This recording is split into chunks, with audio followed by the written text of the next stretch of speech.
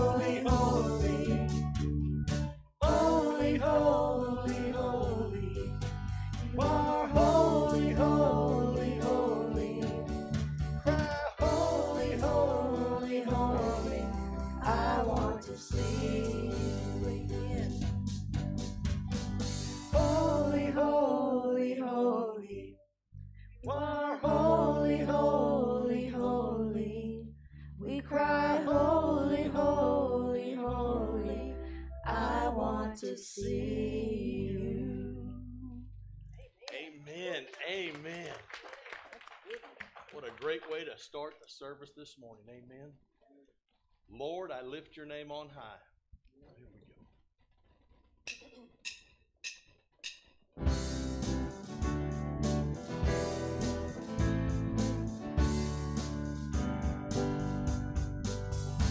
go. Lord, I lift your name on high.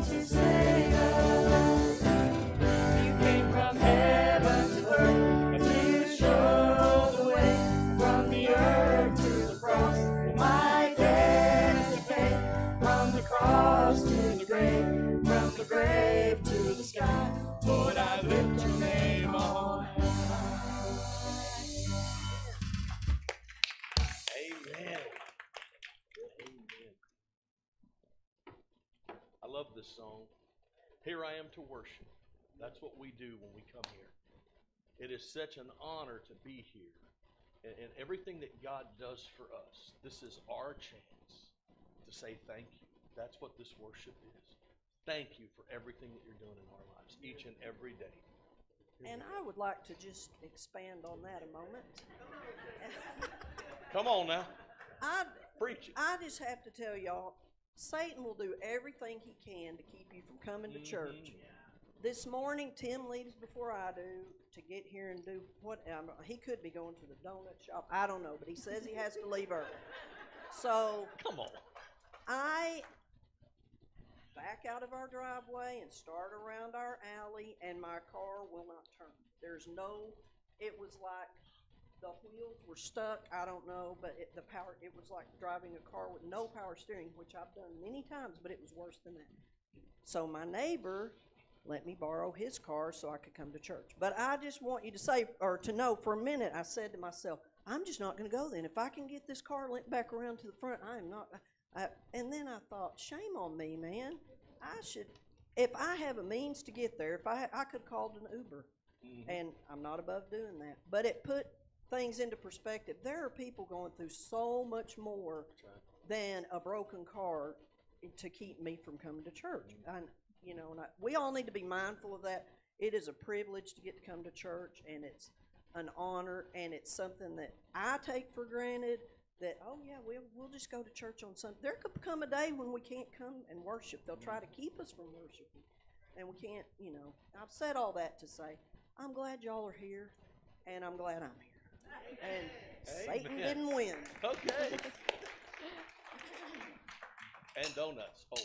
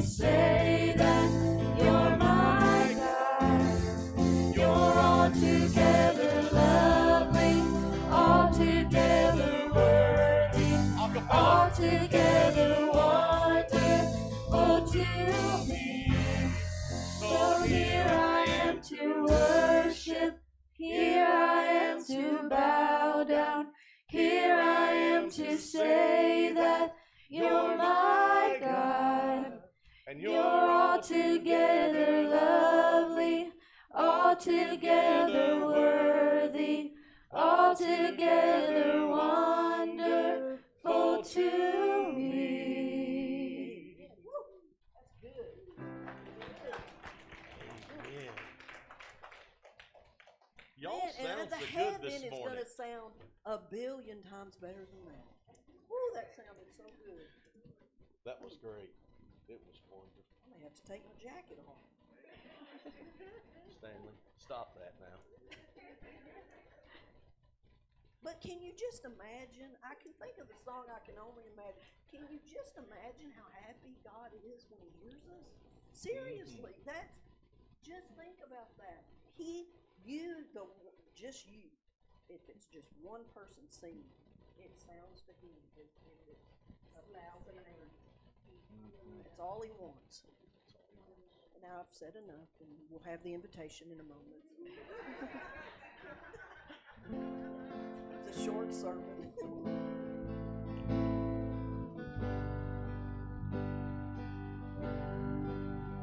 You give life, you are love, bring light to the darkness, you give hope, you restore every heart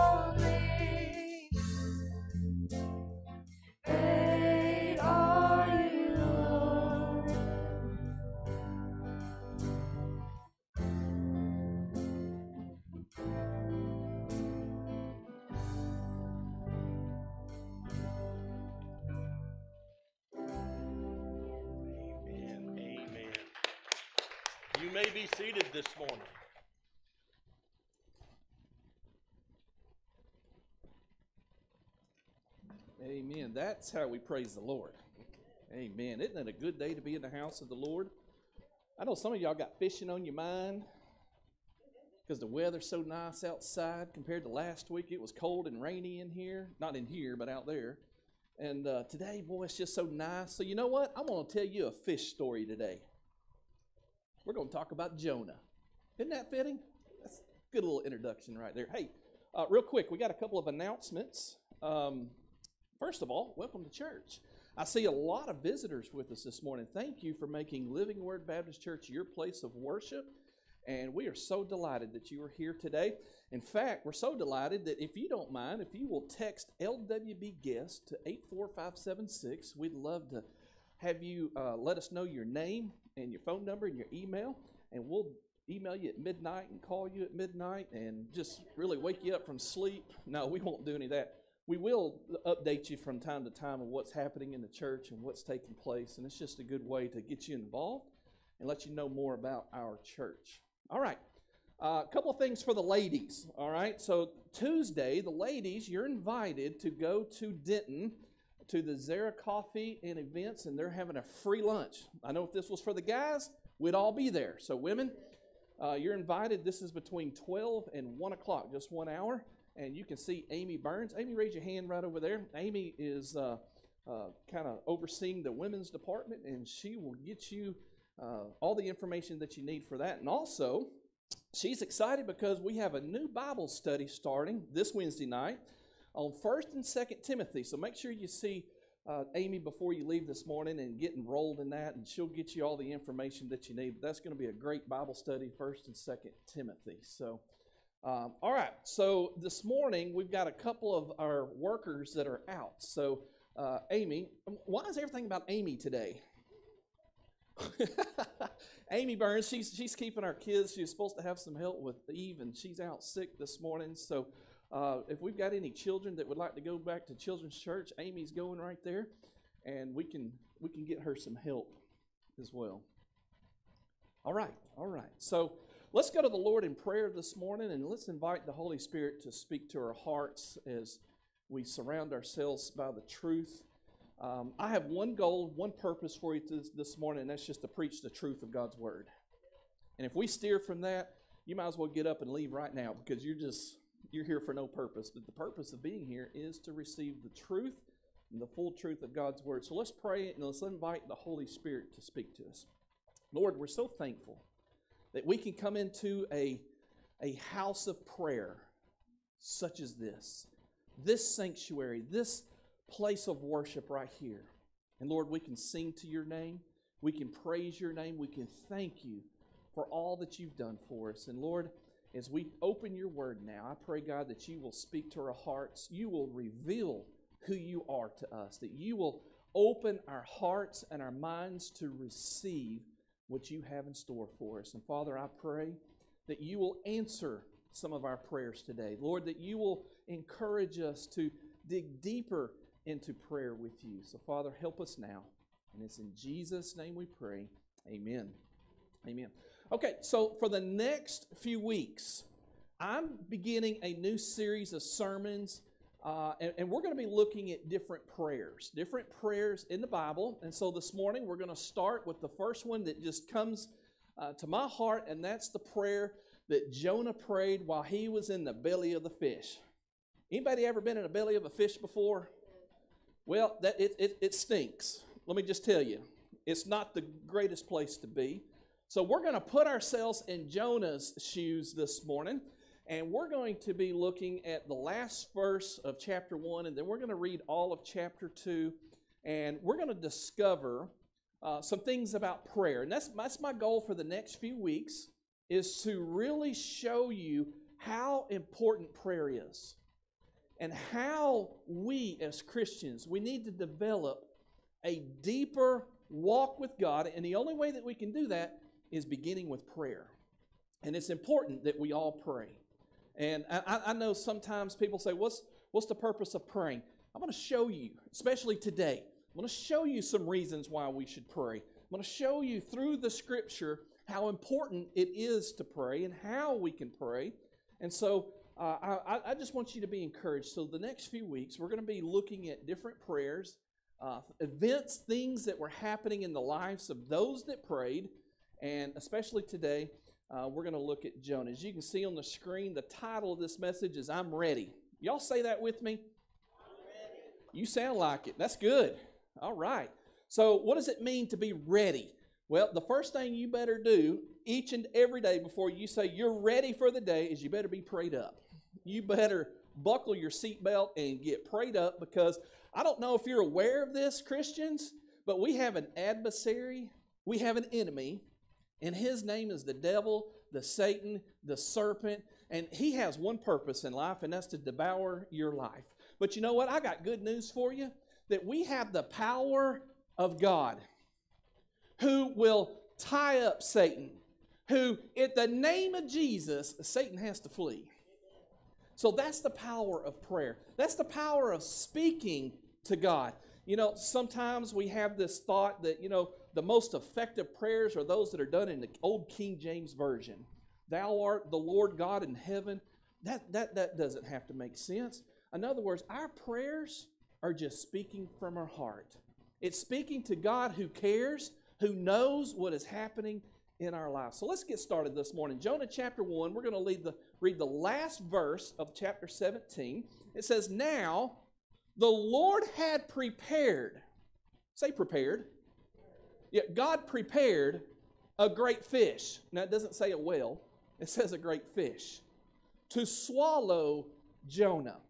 And Jonah was in the belly of the fish three days and three nights. That's a long time to be in the belly of a fish.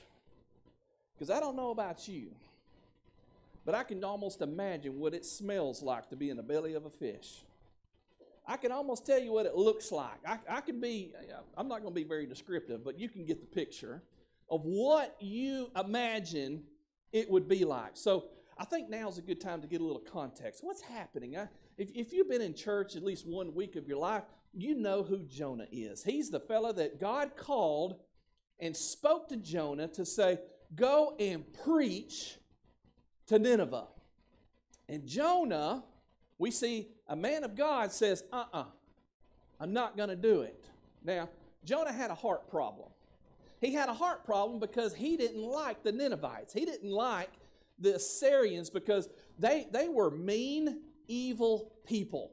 And all of a sudden, God is telling Jonah, I want you to go preach to these evil people, and I want you to preach the love and the forgiveness of God. And Jonah says, not going to do it. So, you know what he does? He runs from God. And he gets on a boat and he goes south and he keeps going south to the certain point that while they're out on the open waters, the waves and the storm were so outrageous that the people on the boat were thinking, What's going on? You know where Jonah's at? He's asleep. He's not, there's not a concern in the world. He knows what his mission is, is to get as far away from God as he can and try to get away from the purpose and the mission that God had for him. All of a sudden, the crew members, they woke Jonah up and says, You've got to get up. There is a storm, and we're going to have to start throwing some things over. So they started tossing some of their boxes and things that were on the ship, just throwing it over. And then finally, Jonah says, Okay, guys, here's the problem. Problem is me. I'm running from God. What you need to do is you need to throw me over. And those guys did not want to do that. They did not want to throw him over. But then the, the boat started to crash and almost flip over, and they said, We have no other choice but to throw you over. They took Jonah and just chunked him into the water. And all of a sudden, the sea became like glass. And Jonah knew at that point he was the problem. He was running from God. He was causing the chaos not only in his life, but he was causing chaos in the lives of others. And so we come to verse 17. And the Lord prepared a great fish to swallow Jonah up. And Jonah was in the belly of the fish three days three nights. Was it misery? I'm sure it was. I'm sure that was the darkest, loneliest time of Jonah's life. But what we're going to see now, we're going to go to chapter 2. And what we see in chapter 2 is the prayer that Jonah prayed when he was in the belly of the fish. It says, Then Jonah prayed to the Lord his God from the fish's belly. And he said, I cried out to the Lord because of my affliction. And he answered me out of the belly of Sheol, which is death. I cried, and you heard my voice. Folks, Jonah is crying out to God. He is captured in a place where he cannot go anywhere. God has him right where he wants him, and now Jonah is coming to his senses. He's coming to a point to where what else can I do but cry out to the Lord? Folks, sometimes that's the best place to be in life. That no matter where you are in your walk with God, when you want to walk out of the will of God, God is going to place you in a place where you have nowhere else to go but to look up to Him. I know some people look at that as that's the worst thing that can happen, but let me tell you, sometimes that's the best thing to happen when we can only look up. And by the way, you know, we do have an adversary, the devil. He's trying to come after us, he's trying to destroy our lives, he's trying to devour those that he can, even Christians. But let me, let me tell you something. When, th- this is how much power God has. When we are attacked by Satan, do you know what we get to do? We get to pray. And we get to turn to God. And, and as Christians, we turn to God and He's going to save us, He's going to redeem us. But listen, you can't run from God. There is no one you can pray to. There is no one that can save you from God. There is no one more powerful than God. So when you are in the will of God, guess what? You're in the best place you can be because Satan even has to flee. All right, verse 3 For you cast me into the deep, into the heart of the seas. Now, wasn't it the men on the ship that cast him over? But what Jonah's praying is, Lord, it was you.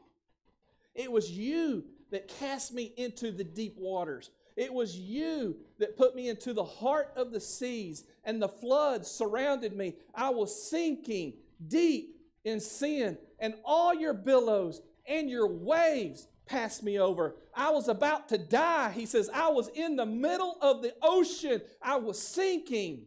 I was deep in the seas. And then I said, I have been cast out of your sight. Yet I will look again toward your holy temple. He says, I thought, I thought to myself, that's the best place to be, is so far from God that He doesn't have to look at me. I won't have any guilt. I won't have any suffering. But all of a sudden, He says, I have to look again toward your holy temple. I mean, here He is sinking deep, deep down into the water, and He's looking up and He's praying. The waters surrounded me, even to my soul. The deep closed around me. Weeds were wrapped around my head. What a descriptive narrative this is. Jonah is praying and he's saying, Man, I was deep within the waters. Seaweed was wrapped all around my head. I couldn't move, I couldn't do anything. Verse 6 I went down to the moorings of the mountains. I was so deep into the water. The earth and its bars closed behind me forever. Yet you have brought my life from the pit. Oh Lord my God. You know what Jonah's doing is he's rehearsing in his mind. He's praying and he's rehearsing what has happened, what has taken place in his life. But at the end, right here, verse 6, you have brought me up from the pit. You have brought me from the lowest of lows that I put myself in, and you brought me up. When my soul fainted within me, he says, There's nothing else I can do. I remembered the Lord. And my prayer, my prayer went up to you, into your holy temple. That holy temple's into heaven, where God is sitting on his throne. He says, I may have been the deep, deep down in the pit, but as far as the heavens are, God heard my cry. God heard my prayer. In verse 8, those who regard worthless idols forsake their own mercy. He says, I know who you are, God.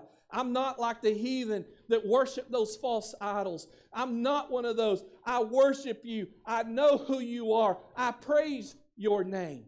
Watch this, verse 9. But I will sacrifice to you with my voice of thanksgiving. I will pay what I have vowed. Salvation is of the Lord. So the Lord spoke to the fish, and it vomited Jonah onto dry land.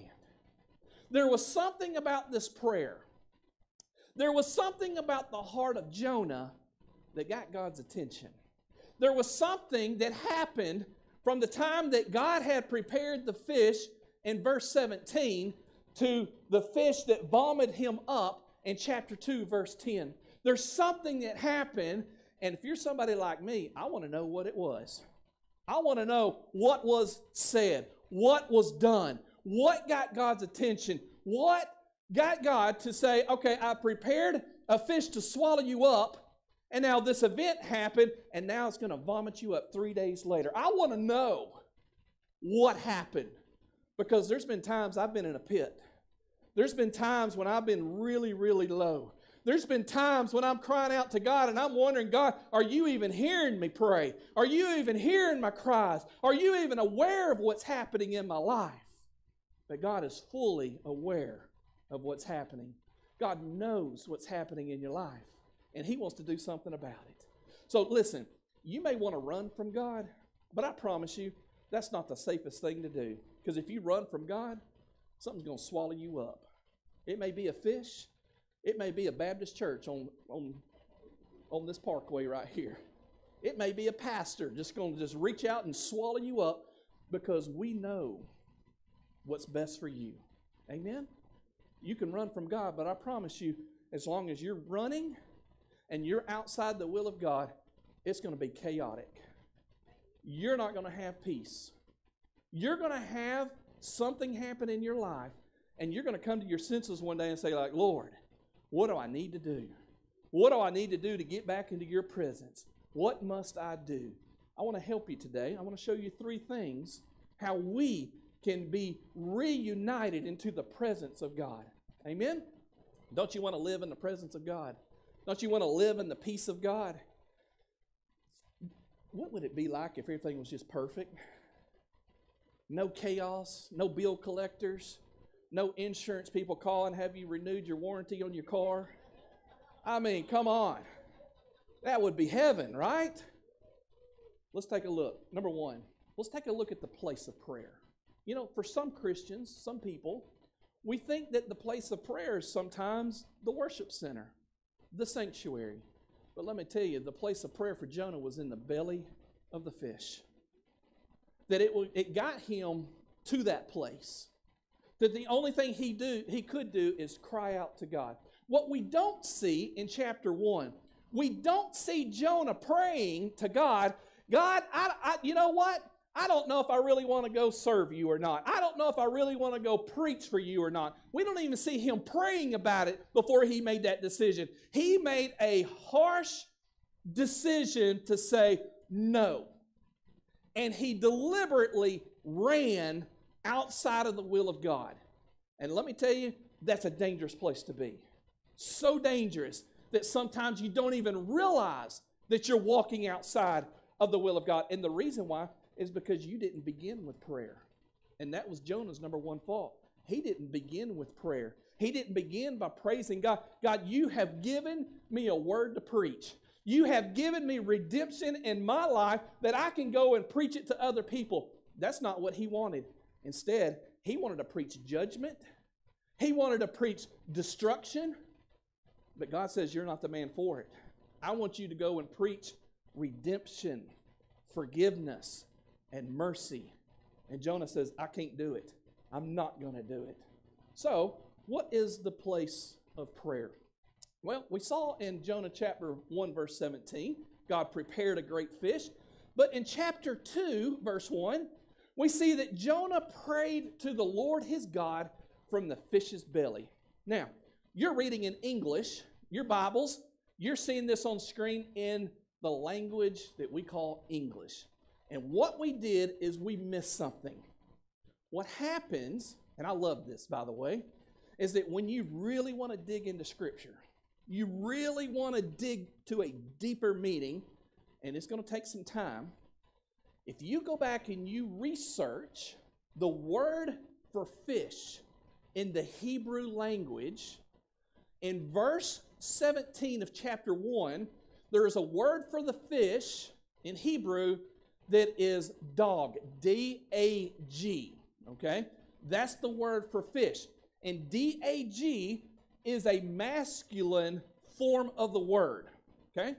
When we come to chapter 2, verse 1, and you look at the Hebrew word for the fish's belly, something changes. It's now daga, D A G A H. Now it's a female fish. We went from chapter 1 having a male fish to chapter 2 having a female fish. And scholars say, well, there was a discrepancy in the text, there was, there was an error. But that's not the case. This is where it gets good. When you take a look at what's happening in Jonah's life, he is swallowed up by this fish. He is swallowed up and he's in the belly of this fish for three days and three nights. That word for belly is intestines, it's the gut. That's where he began. But whoa, watch this. In chapter 2, verse 1, something changes. Something miraculously changes. He goes from the gut of a male fish to the womb of a female fish.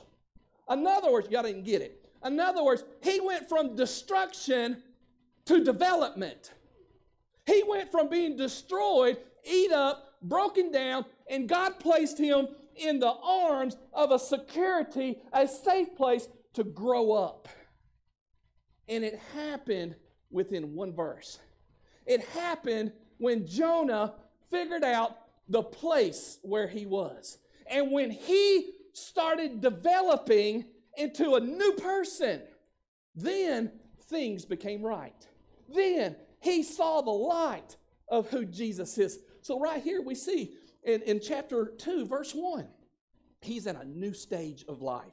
He's in a place now where he's going to be developed, he's going to be nourished. And by the time we get to the end of chapter 2, it's not that he was vomited, that's what the word says, but he was delivered. He was delivered on dry ground. He was delivered into a safe place. It all began because he was thrown overboard. It all began because he was running from God. But there was a time that God says, I'm going to prepare this fish. And what some people think that is a place of destruction, actually, what God says, this is going to be a good time for you, Jonah. This is going to be a time for you to learn. It's going to be a time for you to develop. And through the events that happened in Jonah's life, watch this. When you get to chapter 3 and over to chapter 4, he's now given another opportunity to go and preach. And what he does, he goes and he preaches the mercy of God. You know why? Because now he has a testimony. He has a testimony of where he used to be. But now he's been delivered in something new, something great. And now he can go preach the mercy of God. Amen? Number two, not only do we see the place of prayer in this, in this chapter, but now we see the purpose of prayer. I was asked a question a few weeks ago by a stranger that I met. And, and it really wasn't a question, it was more of a statement. He says, I, I don't know the purpose. I don't know the purpose for serving a God. I don't know the purpose for praying to a God. You know, there's a lot of people in our world that are like that. There's a lot of people walking around, and maybe even in our lives, that they don't understand the true purpose of praying. And, folks, I want to stop right now and say this. If we, as a church, if we as Christians don't drop to our knees and pray and humble ourselves like the Word of God says, ain't nothing going to change. But until we, as the children of God, as the church of God, fall down and pray and seek God's face, then we'll see a change. And I know this upsets a lot of people, but half the time, most of the time in our life, the reason why we're having problems in our life is because we haven't fallen to our knees in prayer. We have left God out of it. And, folks, I want to invite you in the next few weeks to invite God back in, to fall to your knees and pray, to begin each and every day with prayer. I promise you, we'll have testimonies about how good God is, about how great God is because of our prayer to Him. Now, did God change the fish? No, He prepared that fish. What happened is when Jonah prayed, it changed who he was. It changed his perspective of where he was. So that place of prayer, it changed his world. And I promise you, church, if we would consider the power of prayer, it'll change our world. It'll change our personal world and it'll change our global world. Don't we need to seek God first? We need to seek His ways and we need to honor Him. So, the purpose of prayer number two, look back at verse 9. And this, this is the prayer. This is an outst- astonishing statement that he makes right here. Verse 9 but I will sacrifice to you with the voice of thanksgiving. Now, do you remember what happened in verse 10? He was vomited up, he was delivered out of the belly. Verse 9 came before verse 10. So, in other words, Jonah was already praising God. Jonah was already thanking God. Thank you, Lord, for what you have done to me. Thank you for saving me. Thank you for letting me not die. Thank you for bringing me up out of the pit. That's what changed his heart because he's praying and he's seeing who he is. You see, God, y- y'all aren't getting this this morning. I can see it on your face. God does not want us to be happy. He's not concerned about our happiness. He's more concerned about our holiness. He wants us to be more holy than we are happy. And for some reason, the, the, the, the, the church today, we just want to be happy. And, and, and you know, sometimes that, that's kind of my attitude as a pastor. I just want to make everybody happy. I'm tired of everybody complaining. I'm tired of everybody grumping and moaning. I just want to make everybody happy. It doesn't work, though, does it? You got experience in that. When we think about the happiness compared to the holiness, I'm not talking about your wife, by the way. I don't know why you had that thought. I was reading your mind. I saw her on the back row. When we think about God's holiness compared to our happiness, there's no comparison. I would rather be the most miserable person here on earth and be the most holiest before God Almighty. Because what happens when we want to start seeking happiness, we're like Jonah in the very beginning. We just want to take a vacation. God tells us to go north. No, God, I want to be happy. I want to go south. I want to go to Florida where it's nice, like down there in Pensacola somewhere. You know, so when we when we go down to Florida and we go down to where it's vacation time, God's saying, What are you doing? I called you to go over here and, and show these people who I am. Oh, God, I can show these people in Florida who you are. It's not where I called you, it's not where I want you to be. And so, you know, you can read on what happens in the book of Jonah.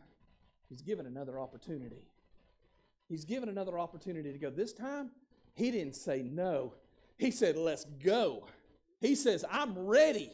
I'm ready to do the will of God. I'm ready to do the work of God. I don't want to be in this pit anymore. I don't want to be in this place anymore. I want to be in your presence. I want to be in your peace. I want to have good understanding of what the Holy Spirit's doing through me. But it took prayer. And God took Jonah to the place to where all he could do is pray. Folks, I don't know if you've ever been there, but I've been there. I've been there. In fact, I've been there many a times. In fact, it was Jonah. It was a message about Jonah running from God that I finally surrendered my life to the ministry of preaching. If it wasn't for this young 20 something year old preacher staring at a congregation on a Sunday night, preaching his heart out that you are running from God. Listen, I was right where you were sitting. I was like, God, you got my attention now. Because I knew at 16 that God had called me to preach. I knew that God was calling me. I said, uh uh-uh, I'm not going to be like the rest of those preachers. They're boring, they're poor, they don't have any money. They, they're, a preacher walks in the room and everybody scatters. It's like a funeral director. You know, somebody walks in the room, it's like, everybody leaves. That's not a good profession to be in. I didn't want to do it. I wanted to be anything else. And I started working different jobs, and guess what? I was miserable on every job. Miserable, miserable, miserable. I can't take this until I was told to my face, You are Jonah and you're running from God. And I couldn't help but just to break down to my knees and tell my wife that I was just married to for about six months, oh, by the way, I'm called to the ministry. And we're going to serve God. And she's like, do what? And that's how it happened. If it wasn't for somebody preaching, don't run from God. And until you're in that moment, you know what God can deliver you from. But right here in verse 9, we see Jonah already giving praise of thanksgiving to God before he's ever delivered. In other words, he's already praising God. He's already thanking God for what he's going to do because Jonah knows I've got my life right again. I've got my act straight. I've got back into a holy position again. I've come to a, a place of prayer. I know who I am before God Almighty. I know what God's purpose is for my life. I know what He wants from me. God, thank you for not letting me die. And Jonah knew he's going to have another opportunity. Aren't you glad that we serve a God of new opportunities? Because there, there's a couple of you, you've had your second chance, but I promise you, I, I'm living like in the 50th chance. I, I'm living down there where, God, it's a new day. I just need a whole nother chance. I just need a new day, a new chance to make things right. But here we see the purpose of prayer. The purpose was to praise God. The purpose was to give honor and glory to God for who He is. And when we, in our deepest pits, in our deepest moments in darkness of life, can honestly consider, thank you, Lord. Thank you for putting me in this place right now. That gets God's attention. Because you're going to praise Him in the lowest and you're going to praise Him on the highest. You're going to praise Him when you're in the pit and you're going to praise Him when you're in the palace. You're going to praise Him when things are bad and you're going to praise Him when things are good. And God smiles upon that. You want to get God's attention? You come in here on a Sunday morning and you start clapping your hands, raising your hands, and singing praise to God, and you see what happens. You start watching the change in your life. You want to get out of, you want to get the chaos and, and, and, the, and the craziness out of your life. You start getting to your knees and start praying to God, saying, Deliver me. I thank you for delivering me in advance. I thank you for what you're going to do. And you watch what happens. God's not going to change himself, but he'll change you and he'll change the circumstance. He changed a male fish to a female fish within a matter of just a couple of words. It happened right here. And then the purpose of prayer we've got to give thanksgiving. Not just the third uh, Thursday of November when it's Thanksgiving Day. We, we, we thank Him every day. And I love what Tim was saying about Here I Am to Worship. This song is just a, a thank you to God. Thank you for what you've done for me. And here I am to worship. All right, number three, we see the power of prayer. We see the power of prayer. Verse 10 So the Lord spoke to the fish, and it vomited Jonah onto dry land. I love this verse right here because this is the God that we serve. This is the God who says, I have a plan and a purpose for you. You have experienced my power. You have spoken in my name. You have looked up to me as the master of your life, the Lord of lords and the King of kings. And now I have you back on mission. I have you set forth to go and to preach. Boy, don't you know he was walking the streets of Nineveh saying, You better turn from your wicked ways. You better seek the God from the heavens because he's going to destroy you in 40 days. I wonder, I really do, I, I, wonder when he got vomited out of this fish and he spewed up, that word for vomited means to spew. When he was spewed up, I'm sure that seaweed still wrapped around his head. I'm sure there's some stinky stuff still on him. And I bet he had this thought you know what? I'm not even going to take a bath. I'm just going to go like I am. And here he is walking the streets. Boy, don't you know he got some attention. Who's that guy? Ugh. What, what is he doing? And he's walking the streets saying, The Lord, the God in heavens, He's our God. He's our God. And you need to turn from your wicked ways. He's going to destroy you in 40 days. And with that message and with that tone that he was in, God delivered him into a new person. In other words, he had in his mind, see, he wanted to go preach judgment, destruction, but now since he was delivered, he had a testimony. He could tell them, he had a visual. I have been delivered from the fish's belly. I have been brought forth because I tried to run from God. And you can run, but you can't hide from God.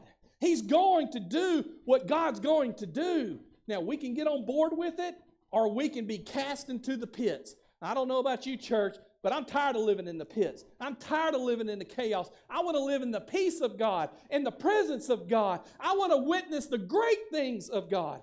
And it's going to happen with the power of prayer. The power of prayer. Reason why we don't believe in the power of prayer as Christians is because some of us have never witnessed the true power of prayer. In other words, we've never truly witnessed praying over somebody to the point to where they're almost going to die. And then they go to the doctor, and the doctor says, I don't know what happened. I, I, I, don't know what happened. That cancer is gone. I can tell you what happened. It was the power of prayer. It was the power of God's people coming together and praying in one name, in one God, and that is the name of Jesus Christ, who can save nations, who can heal people of their diseases, who can give the sight back to the blind, who can give the, the strength in their legs of those that are paralyzed, who will give the hearing back to those that are deaf, that can heal the people of their diseases of leprosy and let them walk in newness of Christ again. Aren't you glad that we serve Jesus Christ? Because He can do all things, He's going to do all things. I know what you're thinking. You're probably like some of the critics. You're thinking, oh, this story in Jonah is all made up. It's just a fairy tale. It's just a fish story. You know how those fishermen are. They start catching a fish like this, and the next person it was this big, and then the next person it was so big I couldn't even reel it in. Right? You know those fishermen. But you know what? Jesus in Matthew chapter 12 referred to Jonah. The Pharisees and the scribes, they were saying, We need to see a sign. We want to see a sign that you are the Messiah. He goes, You know what? You don't deserve a sign. But if you want a sign, you've already got it. Just as Jonah was three days and three nights in the belly of the fish. See, he quoted Jonah chapter 1, verse 17. Just as that happened, that's your sign. I will be in the earth three days and three nights. And folks, when he busted out of the grave on Easter Sunday, those people that were looking for a sign, they saw the sign. They saw Jesus who came back alive. And folks, we may not see Jesus face to face, but I promise you there's going to be a day when those clouds are going to break and Jesus is going to be dropping down from heaven and he's going to call the saints. We call that the rapture. Going to call the saints home and we're going to see him face to face. We're going to see Jesus for who he is. And we're going to see some things that are just like, Lord, I, I, I didn't know that this was even possible. And our eyes are going to be opened. Our ears are going to be able to listen to the things that God wanted us to see and to hear. And, folks, if we just get to the point today to say, Lord, I surrender to you, I surrender my heart to you, I surrender my mind to you. I promise you, God will show you things, some miraculous things that can take place that you didn't think could ever take place. But I promise you, we serve a God who wants, desires, and is pleasured by giving us good things. But it's just like a child. If you want to walk out, if you want to go your separate way, live your own life, He's going to do something to draw you back. You see, when you're a part of God's family, He's not going to let you go very far. He's going to swallow you up. It's not going to be good. I can save you some of that heartache. I can go ahead and save you because I know what's going to happen. By Tuesday morning, somebody's going to call me. Pastor, you're not going to believe what's happened. Let me guess, you got swallowed up. I tried to preach about it. I tried to warn you. But that's, that's how it happens. That's how it happens. But I won't do that. I'm going to say, listen, God's preparing you. God's going to deliver you. And God's got a purpose for you. And we all need to know that. That just because you haven't been specifically called to preach doesn't mean that you don't go out and tell somebody about Jesus. That you don't tell somebody that you have a testimony of how God saved you, how God delivered you. That's our calling as a Christian. That's what we're supposed to be doing each and every day. So if you're going to run from that, hey, I promise you, you, you may get in your car and start it up, and the steering may not even work. Oh, wait, I mean, I got your number this morning, Julie. So listen. I'm, I'm going to take this car for, for example. Sometimes things happen. Maybe it's a delay. Maybe that car didn't steer, start, whatever, because God was protecting her. Maybe certain things were happening in life, and God had already prepared that to happen because that's the God that we serve. But you know what? In her heart, because she's already preached a sermon up here, in her heart, she says, I will serve the Lord. I will come and serve the Lord. And God honored that. And God will honor that if that's your heart's desire. Amen. Are you ready? Say, I'm ready. I'm ready. I'm ready. Father, we thank you for this day. Lord, we're so thankful that we can turn to you, we can come to you. Father, we just pray right now that every person knows who Jesus Christ is. And they can honestly say, I'm ready. I'm ready for Jesus to come back. I'm ready to meet him if I were to die. I'm ready. I'm not running from God. I'm not trying to escape the things of God. I'm ready. I'm ready. So, Jesus, help us now. In Jesus' name, amen. I'm going to ask the praise and worship team to come.